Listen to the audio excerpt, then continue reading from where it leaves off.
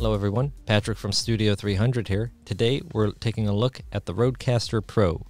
Over the past year, Rode has added several updates to the Rodecaster Pro to increase its features and abilities. I'm going to show you three of the most important updates, in my opinion, that they've added to the Rodecaster Pro since first releasing it. The first update I want to show you is the Advanced Audio Effects Editing Mode. Each of the main four channels on the Rodecaster Pro has audio effects that you could always add. You can access these by going to the channel, clicking on audio processing, and you see a variety of different effects that you can apply to your channel to hopefully make it sound better and more professional. These include the compressor, the high pass filter, the de-esser, noise gate, the aural exciter, and the big bottom, as well as the button to enable or turn off all the processing. When enabled, these apply a default setting to your audio, but they may not always apply the best settings for the audio being recorded. To give you more control over this, Rode has added the Effects Edit mode. To access this mode, first go to the main settings menu, click on Advanced, Audio, Processing, and then enable effects edit mode. Now go back to the channel, go back to audio processing, and now you see each of those audio processors has their own button. When we go into the high pass filter, you can see I can now change the frequency that it's rolling off the low frequencies. As I bring this up, we're going to hear less and less low end to my voice and I can bring it back down and find that sweet spot where it's rolling off all the noise underneath my voice. We can do the same with the noise gate. We get control of parameters like the threshold, how loud the noise has to get before the noise gate opens up, as well as the speed at which the gate applies, how long it holds open, how long it takes to release, and the range that it decreases when I'm not talking.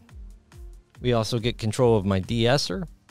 I can change the threshold, the ratio, the attack, and the release, as well as any gain it's added and what frequency it's basing the main part of the de-esser, where it's kind of focusing the de-esser. The compressor can help control the dynamics of my vocal, and we get control of the usual uh, settings, threshold, ratio, attack, release, and gain, as well as control of the Aphex Aural exciter and the big bottom. If you don't know how to use any of these processors, check out some videos online or ask your studio staff member to help show you how they work before you start changing the parameters, as this can drastically affect the overall quality of your sound. However, feel free to experiment if you like, and if you need to restore the default settings, Go back to the main menu. Go to Advanced, Information, and activate the factory reset. Uh, the effects edit mode also gives you access to the master compressor on the main output of the Rodecaster. You'll find this under Channels, Master Compressor. You'll probably want to leave this one alone. Again, as changing it can severely impact the overall quality of your mix.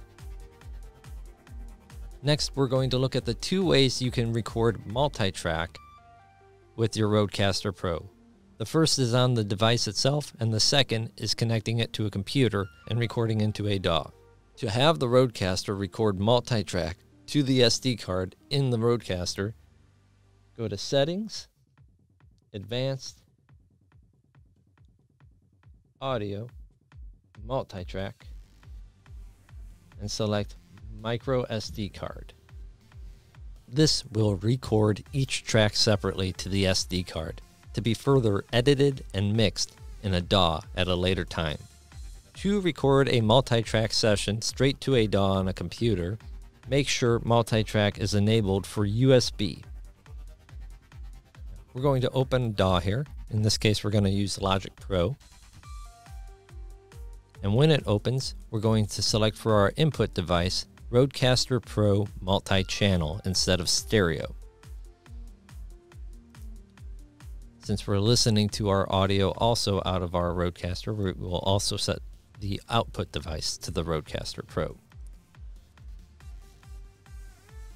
If it changes it back to stereo, make sure you select multi-channel again before continuing. Let's start by adding one channel and set it to input 3. For the multi-track recording, input 3 is actually channel 1 so I'm going to go ahead and label that channel one. And then we're also going to record the stereo mix because the stereo mix is actually inputs one and two. So we'll create another channel, set it to input one and two, record enable both. And now when we record, we're recording my track separately as well as the stereo mix. If I wanted to record additional audio here, I could add the other channels.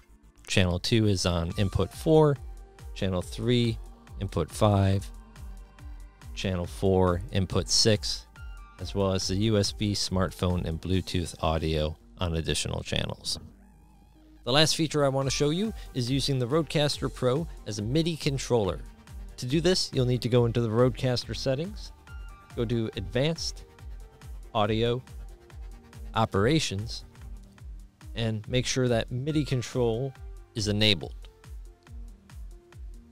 Once you've done that, you'll want to scroll down on this website and find the PDF on how to sync the controller with your preferred DAW, in this case, either Logic Pro or Reaper. I've gone ahead and synced it, and now the faders on the Rodecaster allow me to move up to eight of the faders on my channel strip here in Logic Pro. If I wanted to, I could switch these read settings to write so that it captures these movements and records them as it's happening. Now when I play, these movements will get recorded. And these will be saved.